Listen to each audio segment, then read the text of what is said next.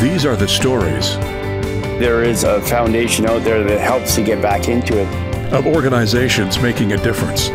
What really limits our ability to do something is people's imagination. and empowering others across Canada. When I get into that sledge, I'm free, man. I'm playing hockey. It's a great organization and it's worth supporting. in our community. Night to Shine, Tim Tebow Foundation. My name is Lisa McPherson, and I am a mother, um, and my son Connor is attending the Night to Shine. Join us for a prom night that you will never forget. Walk the red carpet, enjoy the royal treatment, and dance the night away. Woohoo! Are you excited? Yes. Yeah. My name is Connor McPherson, and I will attend Night to Shine. Everybody gets a crown, every single person. Everyone are king and queens. This is pretty cool, eh? yeah. The Tim Tebow Foundation has a vision to provide an unforgettable prom night experience for people with special needs ages 14 and older, where all guests are kings and queens of the prom. The foundation desires to change the narrative on how people with special needs are viewed. To help accomplish this goal, the foundation has launched an annual event held simultaneously on one night around the world Night to Shine. I'm excited for Connor because he he loves to dance and he likes to party. he's a he's a social butterfly. And this year things are a little different for him because he's got a little girlfriend now and this just started in the summer. She's autistic as well and she's a pretty little thing and they're a match made in heaven. I will invite Amber to Night to Shine by using Messenger or Facebook. Sophie, as you know, 18. Oh, I'm so excited. Oh my god, so excited to go there. Um, I love to dance. I want to go dance and and to eat also. I love it. Sophie's mother, Francine Gallant, and father, Eric Arsenault, were able to attend last year's Night to Shine as observers, which gave them an opportunity to see what happens at this special prom event. it, it, it brings a tear to your eye to, to see that, that people are prepared to, to give that amount of love to people that, you know, that's all they want is to be part of society. They, they want to, because they've got a lot of love to give and they just need to get it back too. That it's, it's from my perspective, that simple. Great strides have been made uh, for inclusion within the school system. So, you know, uh, when I remember when I was uh, a young uh, person going to school, there were there was nobody with special needs in the school system, truly segregated. When you go to school and you see Sophie interact with others, uh, th- there's a real sense of caring there. Okay, there's th- some degree of friendship. But part of the ob- obstacles are, you know, people are, are nice to Sophie, but it's very difficult to develop the real strong friendships that you typically go through when you're in the in the high school environment. Uh, you know, it's a good thing they're nice to Sophie, but you know she doesn't get invited to uh, a lot of the social gatherings that uh, uh, other kids uh, would partake in. I enjoy dance and I love people to sing. Sophie loves music. Sophie loves to dance. And Sophie loves to have attention on her. She loves to be the the uh, the diva. She loves to she she loves that attention. And Sophie does participate in horseback riding. Yes, she does do Special Olympics. Those are activities where she does that that are, um, you know, exercise exercise driven, and uh, a lot of it is is maybe more coaching from us. We want her to be doing all sorts of activities, whereas this is very much for her about her uh, about her having fun in the things that she loves to do to prepare someone for their uh, graduation. And you know when, when, you, when you look at that that event in a person's life, the graduation is the penultimate moment, right? You've done your your, your whole schooling, uh, and you are now basically being declared an adult by society. So it's a big deal. It's a big deal for, for every person. People with special needs very often are not involved. They're not part of that whole process. Okay, not that they can't go. It's just that there are a lot of, of uh, difficulties and challenges. There could be anxiety. There could be, uh, you know, a, a, sense of, you know, maybe not really belonging. Uh, you know, so, so those are those are, are real challenges. Because I love to walk, and I love to dance. I love to dance a lot. This is an event for Sophie, about Sophie, uh, and uh, so she has to be the one involved in making the choices. For, for us, it's uh, it's the final preparations, uh, making sure that the, the dress that Sophie will choose uh, will be uh, the right one for her. This year for Night to Shine is the purple and all the diamonds in there. After Sophie and her mother purchased her dress locally, they brought it to a seamstress for the alterations it needed. Now that all the adjustments have been completed, it's off to the shop of the seamstress in nearby Riverview to try it on and see how it looks. Oh, wow! Wow, Sophie! What do you think? Very good. Yeah. So do you remember what you said when you tried that dress on at the store? Yeah. What did you say? Do you remember? When you saw yourself in the dress. Oh, this is the one. Say yes to the dress? Say yes. yes to the dress. Our community will return after the break.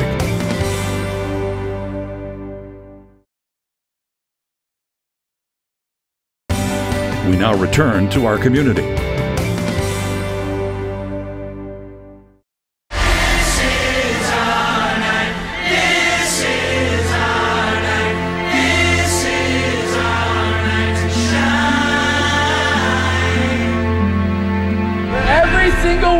You, we are naming you the king or the queen of the prom.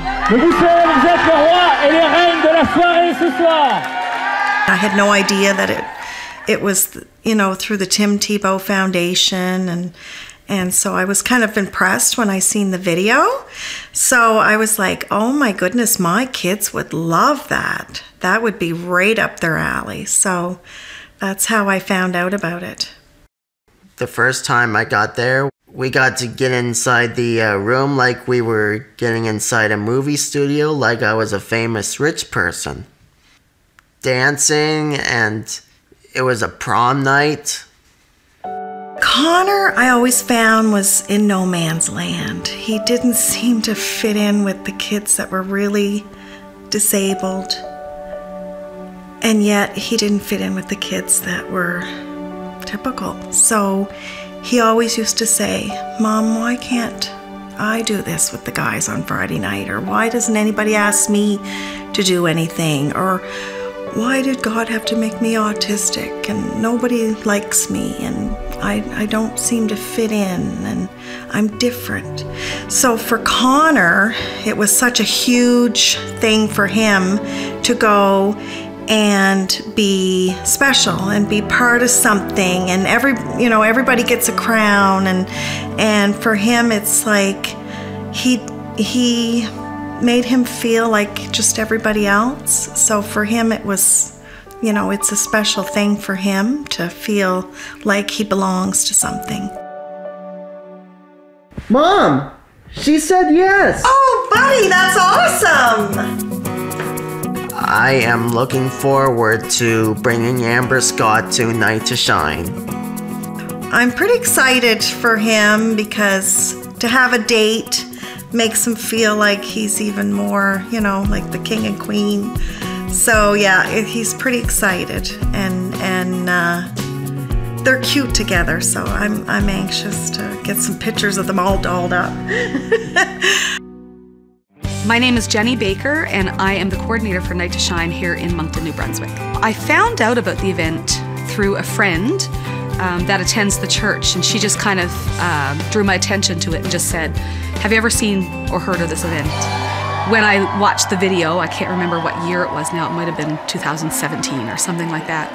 I just thought, thought wow, what an amazing event, you know, like for uh, the church to be a part of. Nobody is doing it. Somebody in the city needs to start it, and hopefully, going forward, it will spread to other churches that are in the area, other churches in the province, across the country. Um, I have a brother who has special needs, and uh, so because of him, because of my love for him, there's a special place in my heart for people with special needs. And so it was something that I thought um, we could do and we could do well if we put the time and energy into it. And we had people that were passionate about it. The Tim Tebow Foundation uh, provides grants, which has been a major blessing, especially because it's been it's in U.S. funds. But I think that the intention is for us to stand on our own eventually and to be able to, uh, you know, uh, support ourselves in that event. Last year, I can say it was the highlight of the year, but I would say the night was probably one of the highlights of my life. It really was. Um, and not just for me, I, I, would think that just to hear the comments and um, people were so overwhelmed uh, by the fact that we were loving their kids.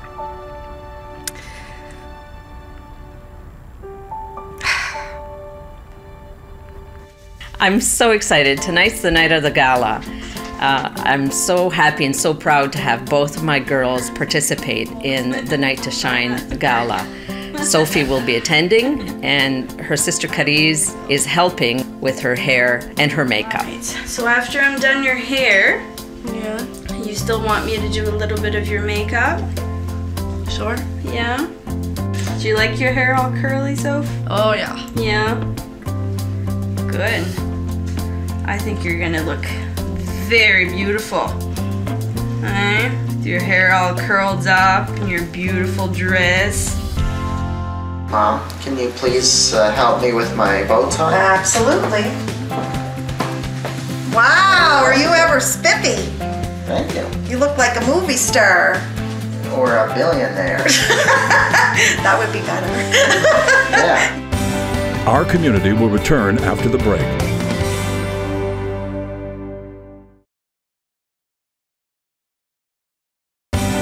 We now return to our community.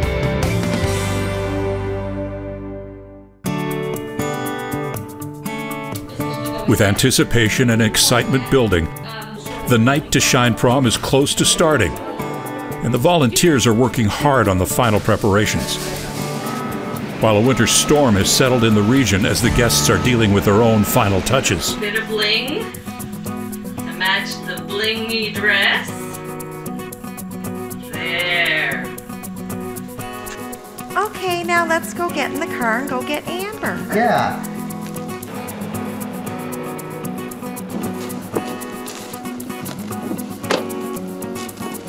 Hi, Amber.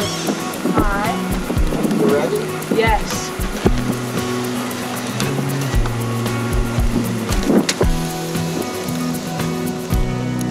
Last year, we had about 55 guests and um, maybe about 160 volunteers. We have at least 80 guests this year.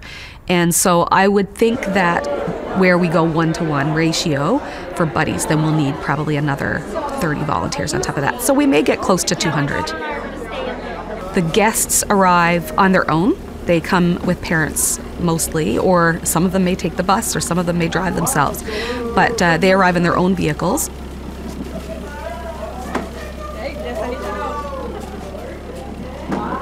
They all come in the main entrance, and uh, we do the registration process there and uh, assign their buddies. Sign you in. From there, they're uh, going to be um, brought into the gym area. And the gym, basically, for the first part of the night, is just going to be a an area where, uh, as we're waiting to receive all the all the guests that are coming for the evening, there will be shoe shines, hair and makeup done there. They'll receive corsages and boutonnieres. We'll have a photo booth there where they can do some fun uh, shots, and we'll put those pictures in a photo frame for them uh, while they're here on site, so they get to take those home in the evening.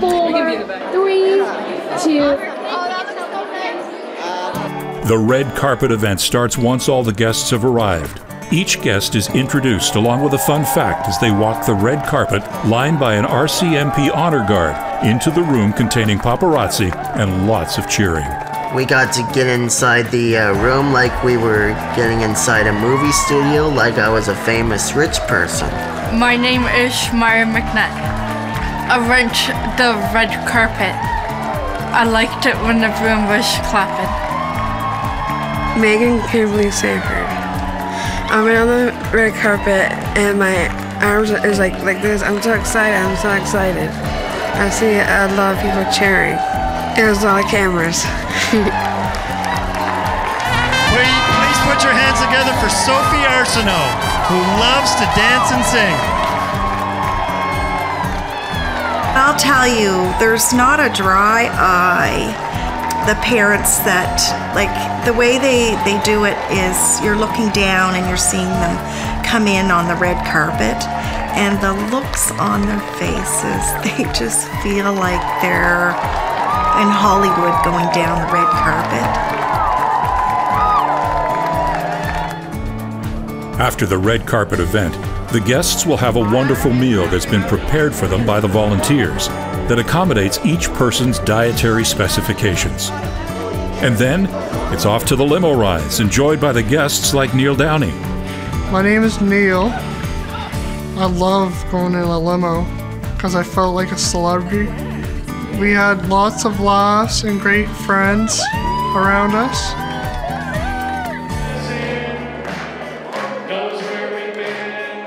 David Feliciano Tata.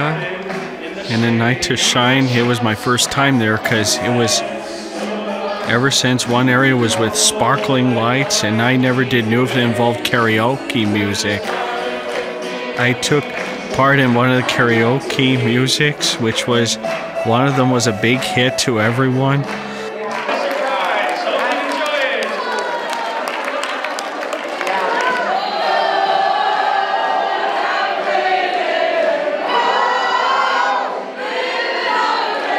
The karaoke continues while many of the guests make their way to the dance floor. Um, we got to dance, and and we got to um do the train around the room. I love the dance. I like the dancing and the food, everything.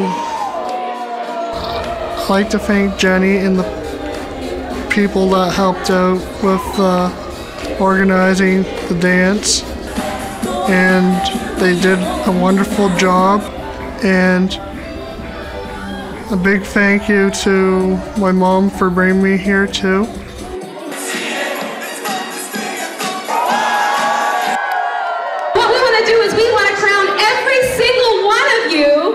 The king or the queen of the prom tonight. Are you ready? Five, four, three, two, one.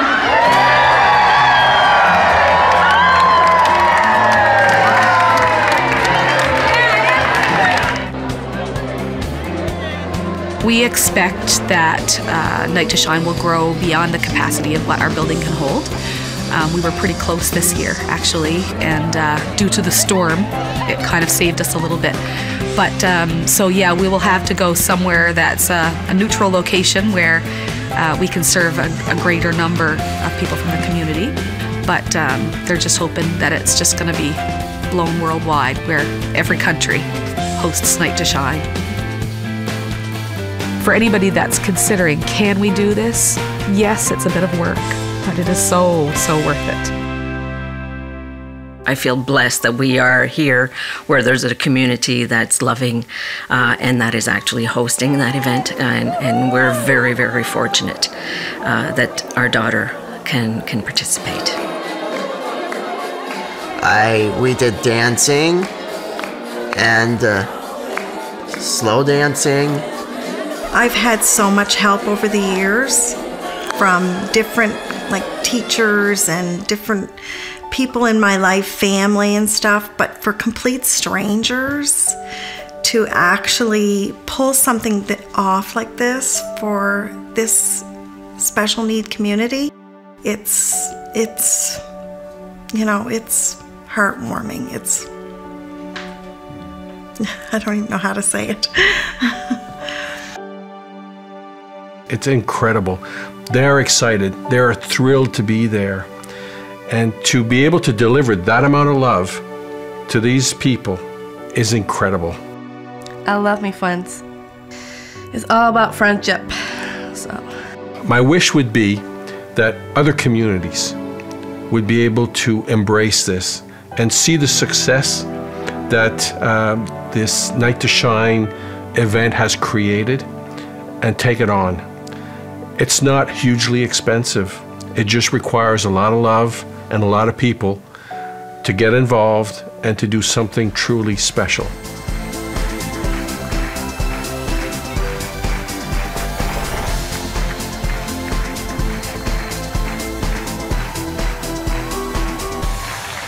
Night to Shine production crew.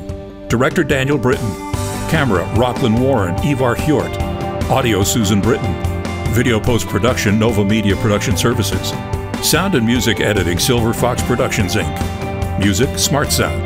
Narrator Jim Van Horn. Integrated Describe Video Specialist M. Williams. Regional Content Specialist Ryan Delahunty. Coordinating Producer Jennifer Johnson. Director Production Karen I. Director Programming Brian Perdue. VP Programming and Production John Melville. President and CEO David Errington. Produced with the participation of Canada Media Fund. Copyright 2020 Accessible Media Inc.